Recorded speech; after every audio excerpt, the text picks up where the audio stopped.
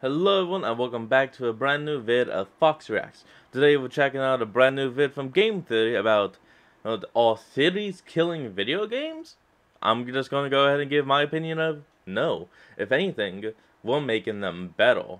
Not all the way better, but we all at least He's making it more interesting. A portion of this episode is sponsored by Capital One Shopping. Let me tell you a story, yeah, a true story. A story about an email I received from a game developer that, for privacy reasons, has to go nameless. Yeah, but okay. let me assure you that it's someone who works on a game franchise that you're quite familiar with. Anyway, we'd done a theory or two trying though? to predict the plot line and some early twists for their upcoming game. Out of the blue, I received Bendy? this email from the CEO of the company asking me if I had a mole on the inside feeding me information. Now, obviously, it was a joke, but also Uh. not quite a joke. Anyway, I was just ecstatic that we Oh, were on the right only. track. And then the game came out, and it was nothing like our theory had predicted. It also Oh, seemed man. rushed and a bit unpolished, like a lot had been changed in the game last minute. It got me wondering whether our theories had prompted them to change the game in Oh. order to move the storyline away from what I'd predicted. But no, that, that, that couldn't be right, right? mean, why Are developers they? actually changing their games in response to fan theories? I mean, well, friends, that's exactly what I aim to find out today.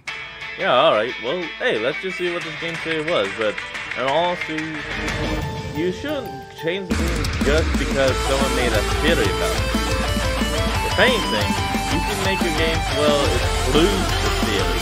That way everyone can be happy and enjoy the game to the fullest they can. Hello, Internet! Welcome to Game Theory, the show that 60% of the time gets it right every time. Lately, and maybe it's just me, I've been seeing a lot of discussion around my role, uh, this Huh? What do you channel's role in the wider games industry. Obviously, I got that email that I mentioned in the cold open, but I also had this Hmm. random conversation the other week with someone who said that getting a theory video made for your series is like landing a white whale. Let's just make sure Oh. that there are fewer harpoons there, Ahab. There's Yo. also been videos from creators like Dags and Sagan Hawks that explore the evolution of indie horror and our specific role in that. If you're lucky enough, you may get the blessing of the gods that is a game theory video on your story. Oh. In this era of post FNAF indie Nice. horror, it can be really easy to want to chase that trend, filling your game with secret Nice. lore. But if it doesn't fit your concept, don't do it. Don't Well, chase that game theory That video. There's also meme downside. material like this. Now, don't get me wrong, I don't bring all this up to be self aggrandizing, like, oh, look Hmm. at how important we are to the games industry. I bring all this up to Yeah, question not the assumption is this actually true? Is there fun. evidence to suggest that games are changing themselves in response to theorists? Have we and other online theorists shaped the way that games Oh, are made and Gaming, marketed? bro. And has this sometimes this resulted in worse games? Well, first and foremost, we know that we have a very strong impact on search results. Last May, during our video on the game Only Cans, I made a quick Oh. offhand joke about the 19 year old meme Lemon Party. That new flavor's name, Lemon Party. By the way, do not Google Yes, that. yes, Super don't. random, right? But wouldn't you know it, off of that very brief mention, suddenly searches for the term Lemon Party hit their Oh, highest God, point why in would you look five it up? years. And this is after we told you to not Google it. So do me a favor, don't hit that subscribe I already button. knew and what it was, absolutely do not leave a up. comment that has the word jump kick in it. Don't you Okay, sis, though, whatever you do, don't look up lemon party. If you, ooh, if you like lemonade, and don't Google it. Don't, don't. I see you doing it. I see you doing it. Don't, don't. Get back away from the keyboard and just watch the rest of this video. Oh, I'm telling you for your own safety. Do not Google lemon party. Dare, don't you even think about it. I will be so disappointed in you if Yeah, you do. do. But that's just a search term. What about an actual game? Well, we dug around using Google Trends, which, if you're not familiar, tracks the volume of search traffic over time. Data that can Yeah, then that be filtered sense. By geographic region and search mm-hmm. platform. So we started to look at games that the How channel had covered in the Oh past, God. starting with one from four years ago, the VR game Duck Season. If you don't remember this one, Oh, it had a cute that. animal mascot, a horrible family, dead kids, a 1980s aesthetic, and none of this is really helping narrow it down, is it? No, it was no, our know mission that in that first video to reveal the identity of the murderous dog mascot behind it all. Just another Yeah. normal day over here at Game Theory. That video is remember one of our best performing videos of all time with over 19 million views, so we stuck the term Duck Season truly. into Google Trends, and wouldn't you know it, the timing of our video's Whoa. release corresponded to the highest peak in search traffic ever for both That YouTube and on the web in general. Other spikes and trends certainly seem to exist immediately after the Game game's release. release when Jacksepticeye, CoryxKenshin, and others played the game, Whoa. but in December of 2017, web search had dropped to 47% of the high. Then in Hmm. January, immediately after our theory, 100%, all-time high of search traffic. If we get even That more granular, amazing. you can see that the highest point from 12-1-2017 to 1-31-2018 is December 31st, the day Ooh. after our video came out. We I kept searching and that. we kept seeing the same thing over and over again. Mobile game Lily's Garden, video June 22nd, Oh, yeah. 2021, 100%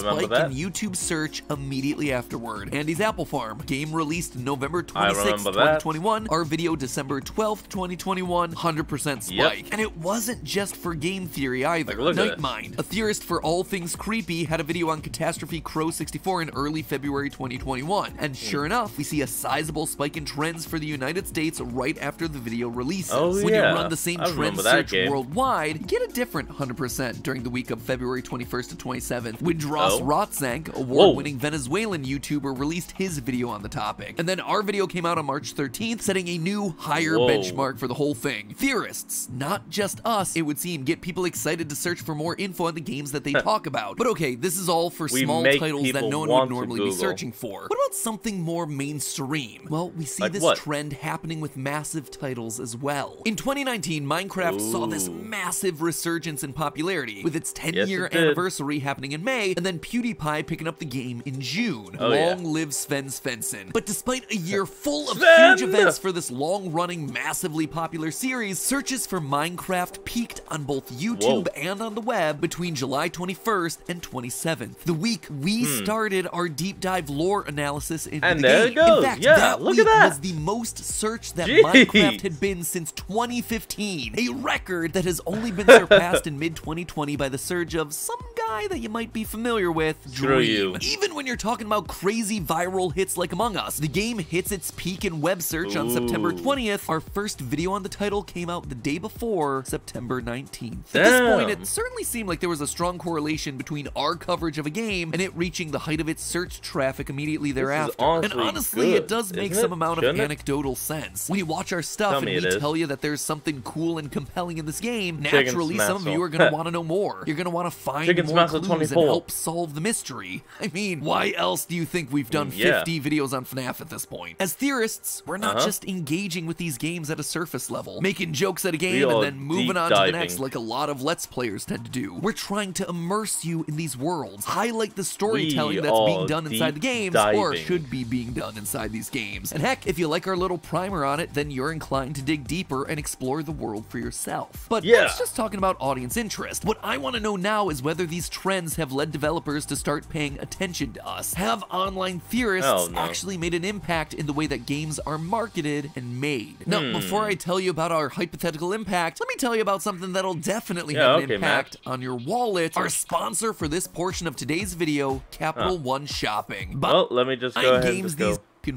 off companies shop that you Capital One work, not like also losingly saving me money that matters. And by using Capital Shopping stuff that you'd be buying, you're using then be redeemed Come on. win scenario. And the best user or anything. Click the link just that you make money and for recently. Merge Mansion. Oh, okay, okay, Originally, think- we get back on. to the data. Let's start Okay, with the game back. that we actually went back to recently. Merge Mansion. Originally, we covered this mobile game's lore Oh, on yeah, October 24th, 2021, concluding that remember that Grandma is a cold-blooded murderer in disguise. Shortly after our theory, a message got sent out to players Todd. by the game itself, telling them that Grandma did nothing wrong. She has nothing to hide. Followed by a YouTube link where you could Uh-huh. find four live-action videos starring actress and sledgehammer enthusiast Kathy I keep getting those ads constantly. I don't have to look them up. These ads just keep hitting me on my computer, on my phone. Mods Madsen is trying to get me in. Can I prove that we were the thing that prompted them to go with that campaign? No, no, I can't. But does the timing work out for them Look- to have seen our theory and then leaned into the whole Granny's innocent wink wink angle? You betcha. That's mean, some yeah, circumstantial evidence, honestly. but can we make a more one-to-one connection? What about something more substantial? what? Something a bit more narrative driven? What about Bendy, Bendy and, the, and the Ink, Ink Machine? Machine. We made a theory yeah. after the release of Chapter 2 talking about this random angel character. This character Uh, that had shown up in a random Angel. poster on the wall. Walls, speculating that she was going to be important to the story moving forward. First, we'll see I mean, Alice take did. center stage as the game goes on. Like Betty Boop, we'll hear about how her popularity skyrocketed, I mean, surpassing did take Bendy. center Sure enough, when like Chapter 3 released 123 days after the video, the world was introduced to Alice Angel. She was front and center. Now, did we Yeah. predict what the creators were going to do with Alice all along, or Hmm. did we somehow speak this new character into being? According to Mike Mood in an interview, We'd like Oh, you guys need to do an episode with Connie X and his stand time after time. I to say we knew exactly what was going to happen, but really, at the end of the day, we knew the beginning and we knew the end of the game. Everything that Alright. happened in between was kind of developed as we went along. In chapter 2 Mm-hmm. we had a poster of Alice Angel, and that was just one poster. there was nothing poster. explaining what this character was. The fans just started doing fan art, they just fell in love with the character, and just it made it really obvious that chapter 3 should be about Alice Angel. And That boom, right there there it is goes. pretty conclusive. They literally took ideas from the fan community and used them to fill out their story, Yeah. which, let me be clear, isn't a bad thing. It's awesome It to listen be to the fans and respond be to the things that they're all most excited about. But it's clear that we, the collective we playing these games, not The just we us theorists, the we internet. influenced how Bendy turned out in those middle chapters. So now we're Yeah, starting to see how theories sense. can have an influence for the better or for the worse. Oh no, what's the worst? Which segues nicely to the 300 pound elephant in the Damn. room, Hello Neighbor. At least he's a dapper elephant. I mean, he wears a sweater, vest, and mm, everything. Now, you might remember this little series of tweets from April 2020. For Not anyone that doesn't, tinyBuild, one of the developers for Hello Neighbor, had just released a TV pilot and began tagging Really? my Twitter in their posts, Wow. seemingly trying to get another theory out of me. However, Hello Neighbor's making a TV show. Why do I not remember hearing anything of this?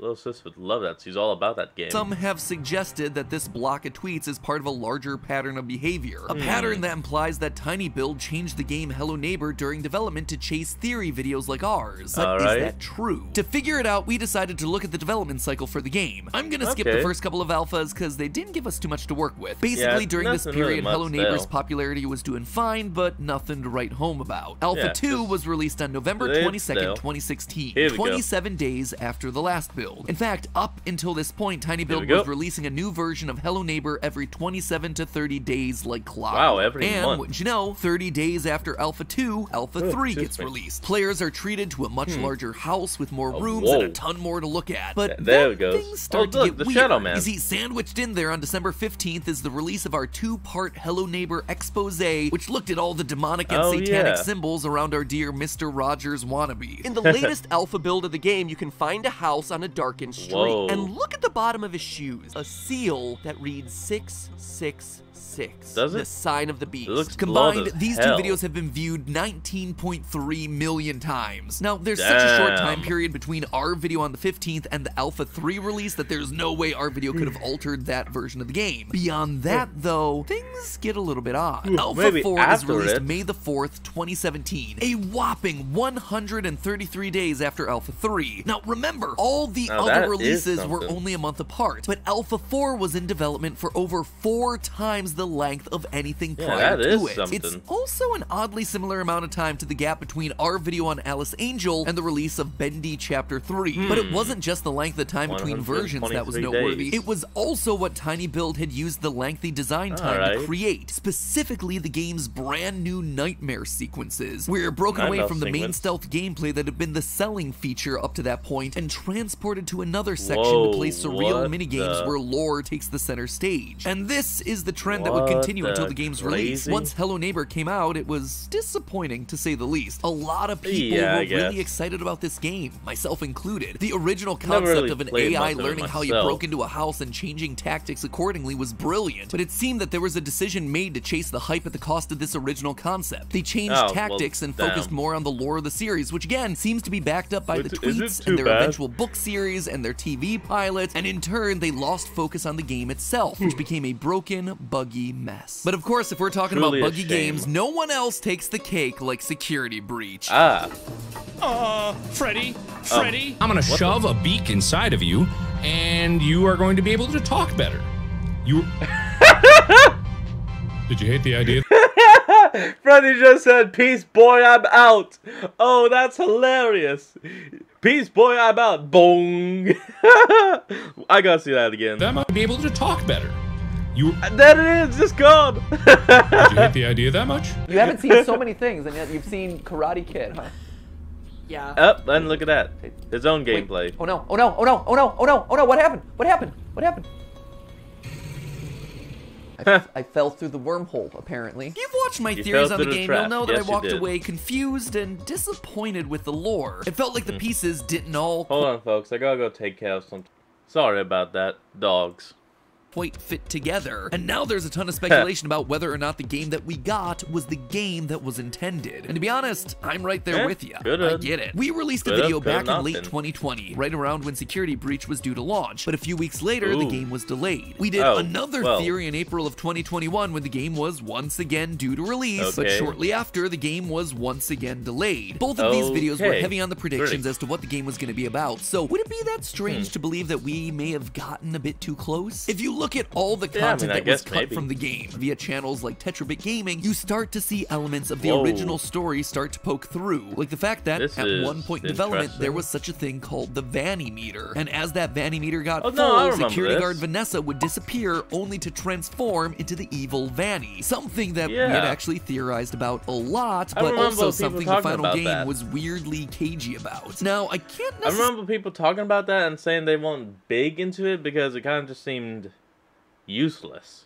necessarily say that I have solid proof that Security Breach changed things based on online theories, but Scott himself Hmm. has admitted that he's changed things based on what the fan base has found interesting. As Yep, Scott, in his own words, says, I watch all the game theory videos, you know, and you know, uh, me and Matt have some had sometimes had an antagonistic relationship back and forth. You know, I, I inconvenience him with my games, and sometimes he inconveniences me with his theories. You know, but it's all in good fun. He did a video nice. on that box, and he kind of said that he thinks the contents of the box changed over the years. But I, I saw that hmm. and I was like, he's absolutely right. He's absolutely right. The contents of Oh. that box have changed over the years. Look what. I was intending the game to be when it happened, and then Huh. after the reaction of it, I was like, I, I need to cra- I need to craft this into something, Something better, yeah. for the people who see this as important, and that Oh, kind of at that. indirectly does change the contents of the box. You know, because it, 'cause it, oh. it changes the contents of everything that came before. when you start retconning oh, Alright, lore that's elements or changing the details within a game, your story, just and in turn your fan base that theorized and loved your game, are the ones that ultimately suffer. Let's be honest, oh, Yeah, FNAF shame. lore always been complicated, even when you're not Oh, yeah, talking it's about always these been changes. But it never felt like the games suffered. It felt like Scott was very much in control of the story and where it was going. But Security Breach Hmm. was just a lot messier than your standard Freddy Fazbear experience. From a gameplay standpoint and from a And lore there you go. standpoint. And if fan the theories were right and they changed the original story because of it, well, then it would explain why the game was so unpolished and the lore That's so why you don't climb incomplete. By rushing to try and make something surprising, they ultimately shot themselves in the foot. They changed Ow, elements of the story to make it different, but forgot to take everything out. And so we're left wondering if Vanny and Vanessa are the same person, which everything up to that point had been leading up to. They even went back Hmm. and changed the princess's name in the game files back to Princess instead of Cassidy. The one lore come piece on. that we felt like we had nailed, they've now changed retroactively, Great. which makes it all the more confusing. Were we right and they Kind changed it? Was this an. Easter egg? Was it intentional? Who knows? Just let us have something. And you Yeah, see, that's the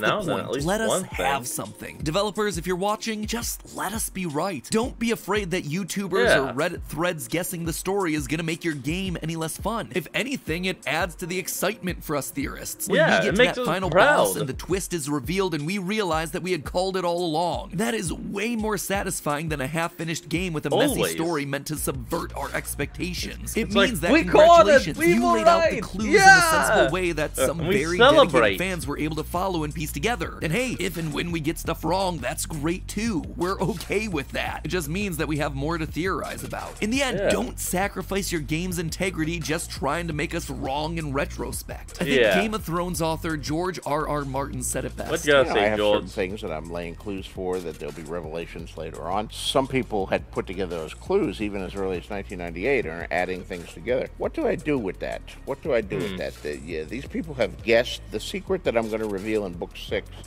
People have already guessed that here, and book two is just, Just out. you really have right. two choices there. You can ignore it and proceed with your plan, despite the fact that some people know where you're going, or you can Mm-hmm. get all panicky and say, "Oh my God, they figured it out. I can't let that be. I'll have to change it. I'll have to go in a different direction." And I, I think Why some writers do go? that, and I think that's always a mistake. Yeah. You know, if you've planned your book that the butler did it, and then you Yeah. read an internet, someone has figured out that the butler did it, and you suddenly change in midstream, and it was the chambermaid who did it, mm, then chambermaid. y- you screw up the whole book because you get these this foreshadowing early on, and Yeah. you've got these little clues you planted. Now they're dead You get ends. clue and after clue you have to introduce clue, other and then you clues, suddenly you're just go, retconning. oh. It's a mess. We know developers recognize the impact reactions from fans and YouTubers have, and at times include extras in games for us to find, hoping for us to get excited about finding them. But too Hmm. many games that started out in a really good place with a passionate team making something they love get a taste of that hype train and start changing look things. Suddenly they're trying to chase the train for just Hell one more ride 2. rather than staying the course. The Obviously, we love great games with hidden lore, but not at the Hmm. cost of everything else. We love when developers try and stretch themselves to achieve something special, Yeah. but we don't want to see internet clout cause them to compromise their vision. Just make the game and the story that you want to make, the one you intend to make. Because if it's well made and enjoyable, then we'll inevitably want to play it and talk about it. If you guess the story early, that's totally okay. Add some Easter eggs makes us pointing to the next installment. If you get something wrong, that's okay too. And if you don't want to include any real lore at all, Yeah, fine. okay. I'll still be here, ready to claim that it's secretly a sequel to Earthbound anyway. Let them argue their theories, whether they're right, whether they're wrong, but I don't need to know about that. But hey, that's, That's just just, a a, game theory. theory. A game theory. Thanks for watching. And with that, that's what we're going to call off today's video. So, I want y'all to remember to like, comment, and subscribe for more. Down in the description will be a link to the original video, so remember to support the original creator and all they do, and I'll see all of you folks in the next video. Have a good one.